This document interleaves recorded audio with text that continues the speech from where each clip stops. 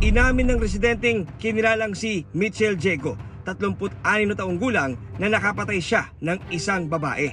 Kasama si Mitchell, tinunto ng Negros Oriental Police ang sinasabing bangkay. Nang makarating sila sa barangay Kedyokan sa bayan ng Valencia sa Negros Oriental, isang bangkay ng babae ang natagpuan. Ang biktima, walang suot na damit at naagnas na ang mukha. Kapansin-pansin din ang sakal sa leeg ng biktima. Ayon sa mga pulis, nasa dalawang araw ng patay ang biktima. Kailan mo nakita yung kapatid mo? Isang araw po. July 21 po yun. Umaga.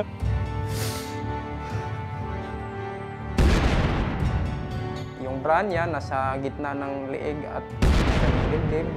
Tapos nakapanty na lang siya. Tapos yung salawal niya ah, nasa ibabaw ng, ng bangkay. Sa tingin ko, mga 2 days na yung patay ng yung bata, ma'am. Kasi na may uod na yung mukha niya. Ah, nilagyan ng patay. Ganito pa, eh, parang pinatago niya talaga para hindi makita yung bangkay. Yung batas ng paa siguro ilagay ni- niya yung biktima para hindi ma matuntun agad. Ang bangkay, kinilala ng kanyang mga kaanak na si Ana Jean de la Cruz, 17 taong gulang. Siyempre ma'am, masakit po. Mawala ka ng isang kapatid mo. Eh, dalawang babae lang po sila. Hindi mo maintindihan kung anong naramdaman mo. Ayon sa resulta ng post-mortem examination na isinagawa sa katawan ng biktima, asphyxia o pagkakasakal at hypothermia o matagal na pagkakalantad sa malamig na temperatura ang naging pangunahing sanhi ng pagkamatay ni Anna Jean. Yung klaro kasi ma'am, ah, yung leeg lang may sugat siya. Pang-apat sa limang magkakapatid si Anna Jean. Nag-aaral siya, kakatapos lang na niya ng ano ma'am, grade 10 ma'am.